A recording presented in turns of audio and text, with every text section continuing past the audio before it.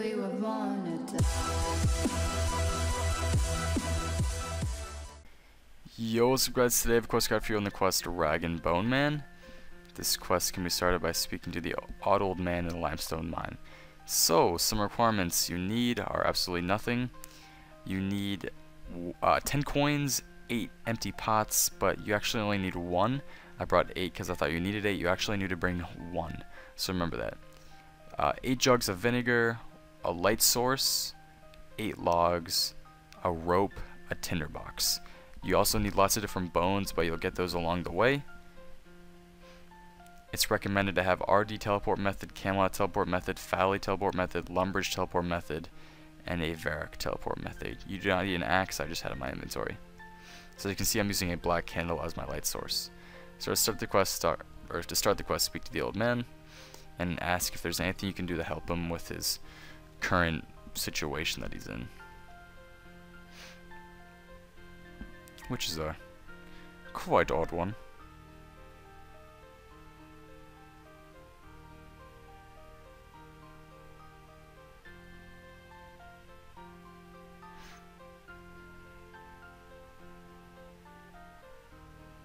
Keep talking to him. Is just gonna be a long little intro, how he has this weird ass thing in his backpack too. There's apparently a baby in his back. I'm just kidding. Oh, what the fuck is that? Sorry. I was fishing and something just like came out of the water, scared the fuck out of me. Anyways, you need to go kill a bunch of different animals now and get some of their body parts, which is lovely. So the first place you want to teleport is Varrock. You want to go get some gear at the Varrock Bank. And you don't need major gear, you just need to kill animals. So I'm just bringing my bear Bearhead D-skin, my Fighter Torso.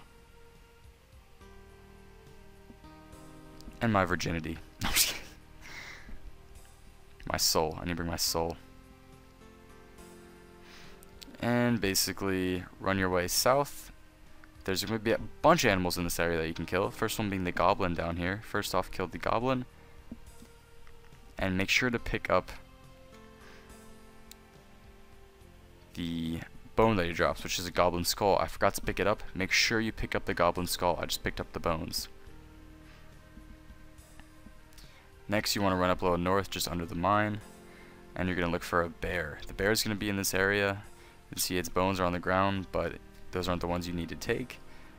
The bear is going to respawn. I had to switch worlds because this fucker was killing and taking my kills.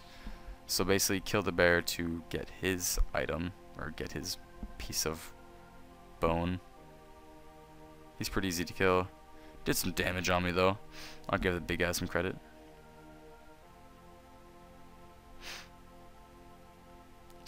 take his bare ribs. Get it? Bare. Okay, never mind. No jokes for you. so now, kill a unicorn that you guys should see that is just right around the bear. Pick up the unicorn bone. Now run uh, west from where you killed the unicorn, just southwest of the mine. Run into here, into this little sheep pasture slash pen and kill a ram that is wandering around inside. You you can't kill the sheep, you can only kill a ram, so it's gonna be pretty easy to find. So just kill the ram, and I believe you're gonna get a ram's skull as well.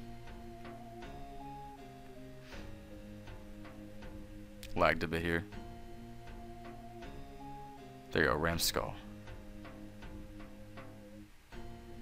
Now run up to the Varrock sewers just east of the castle, climb your way down the ladder, and kill a giant rat that is down here. The giant rat will drop a giant like rat bone that you need. There's a guy training down here, so I had to wait for a rat to spawn. And I was just like, oh dude, I'm totally gonna beat this guy. And I did. No big deal. Now you need a giant rat bone, so get that giant rat bone.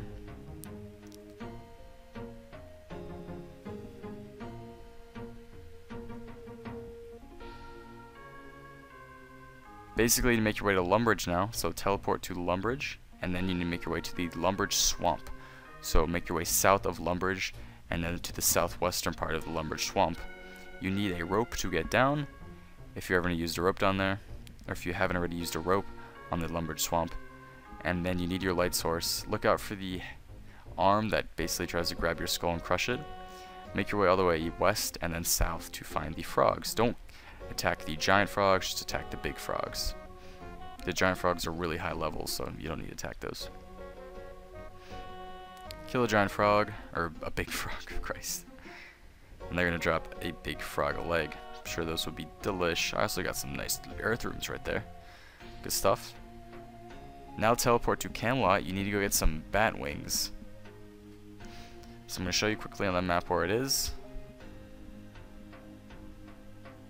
Now, after my character character stops, you know, masturbating. So basically, you are currently at uh, the Camelot Castle. Make your way straight south to Keep Le Faye. Keep Le Faye has bats outside of her keep. so basically run to the western part of her keep to find a bunch of bats flying outside and kill these bats to get the bones that you need for the quest. You cannot get these bones from other players if you were wondering. A bit late for that, but you know. And after a long battle with a terrifying bat, you will come out victorious. After hitting many zeros and ones like I did. Which sort of sucked. Take the giant bat wing. teleport to Ardy. Make your way south. Go to this little guy here, Captain Barnaby. Pay the fare. Make your way off the ship. Run south. And then you have to run east. So make your way towards Brimhaven and look for the monkeys that are just chilling in Brimhaven. Kill one of the monkeys. This is the final animal you need to kill and get its monkey paw. You now have all of the animal bones that you need. Teleport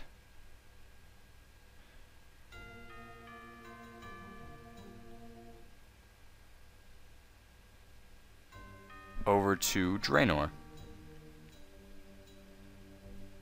Sorry, I was looking at the guide, I was like, wait, what did I do here? Basically, when you're in Draynor, you need to go buy some vinegar so go to the Draynor Bank, and then go to this little marketplace right here. Look for Fortunato, talk to him, ask him if you can buy some vinegar from him.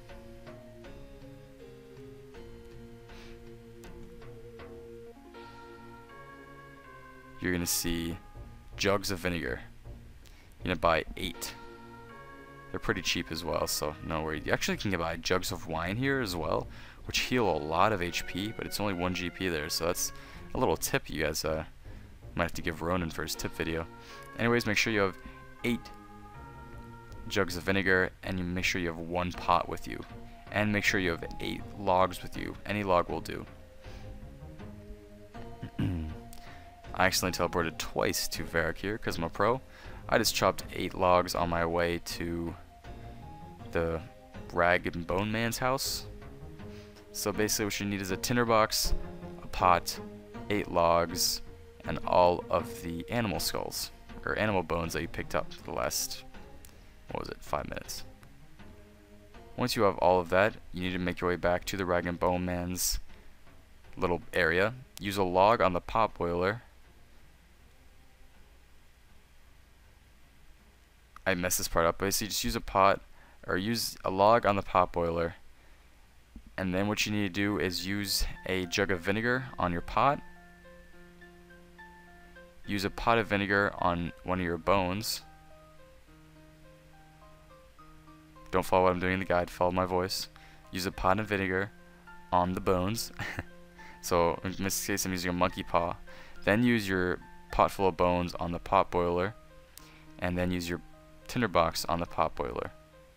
So I'll repeat that one more time tinderbox on the pot boiler, vinegar in the pot, bone in the pot, pot in the pot boiler, tinderbox, the whole thing. And eventually, after a while, you can remove the bone and it's going to be nice and clean. You now need to complete repeat this process for all 8 bones. Once you have done that for all 8 bones, you will have all the bones for the guy. And that'll be quest complete. So, any questions, make sure to post below. Pretty easy quest, just long and annoying, as are most quests on this game. That's it about it, guys. I just fucked up that outro. That's about it, guys. Peace.